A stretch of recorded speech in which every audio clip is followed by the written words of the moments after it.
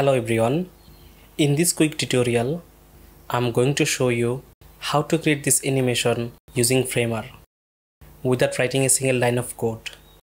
I'll also share the free remix link in the description as well as this video in our asset page. I'm Imran from Cycloto and let's get started. Okay, first let's take a project and click in here, go to this layers, desktop and click this layout to make it stack. Now press T on your keyboard to add text and write out text. Click this font and change it to Anton. Click this size and increase it to 300. Now click this color and change it to this color. Now press Ctrl or Command D on your keyboard to duplicate it and name it VE. Now go to the insert and search for video.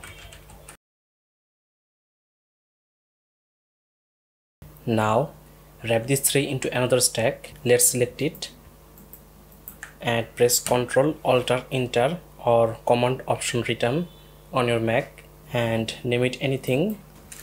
I'm naming it container and change the direction to horizontal.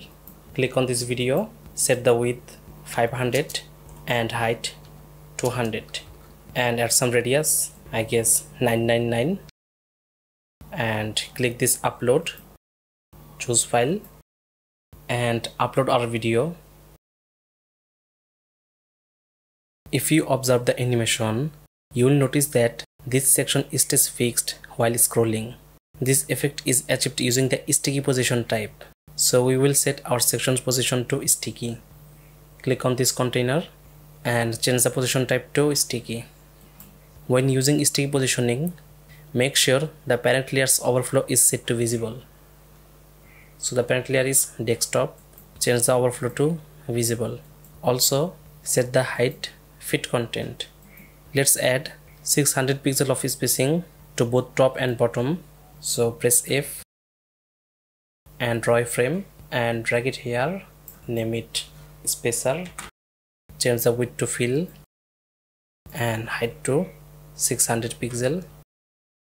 Now duplicate it and press down arrow on your keyboard to place it at the bottom. Finally set the sticky sections height to 1000 pixel. Again let's preview the animation to analyze what happens when we scroll there's a specific point where the effect is triggered. To handle this, we will use an empty frame as a trigger. The animation will only occur when this frame is visible on the canvas. So add an empty frame, draw a frame like this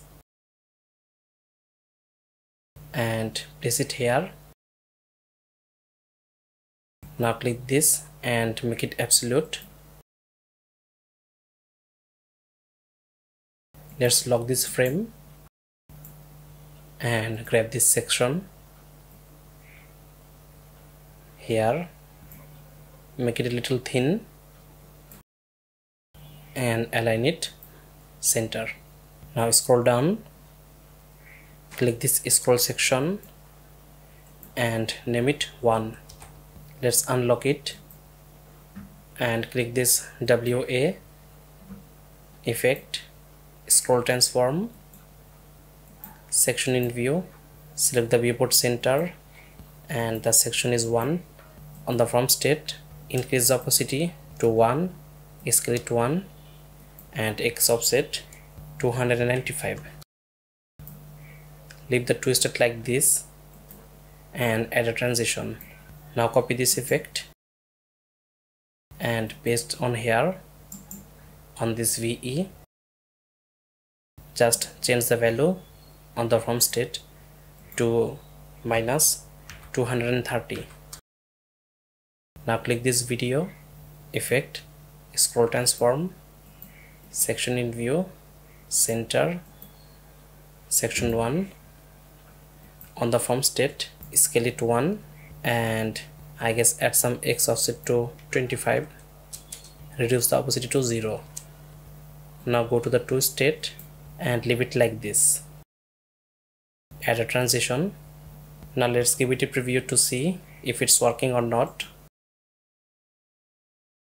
Yes it's working. We can remove the fill color here.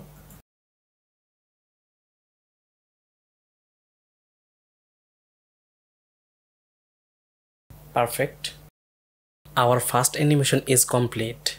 And now we can easily create the second one. As you might have guessed we will simply copy this two frame. This is spacer and this frame and then we will place it at the bottom. So first copy this spacer and then let's first name it 1 and then copy it. These two frames are in the same position. Click on the second one and make it visible to see the first one. There you go. And drag it and drop it here. Now let's click on it and click this yes to make it visible. Now let's name it 2 and go to this video. Scroll section add section and select the section 2 click this 2 and increase the opacity to I guess 5 now click this style z index and increase to 10 now let's preview one more time. This is our first animation.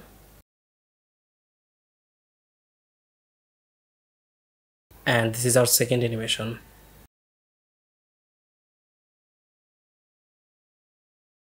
And that's how you can create this type of animation without writing a single line of code. If you have made it this far, I hope you enjoyed the video. Don't forget to subscribe to our channel. We will be sharing more tutorials like this, inshallah. Thanks for watching and I'll see you in the next video.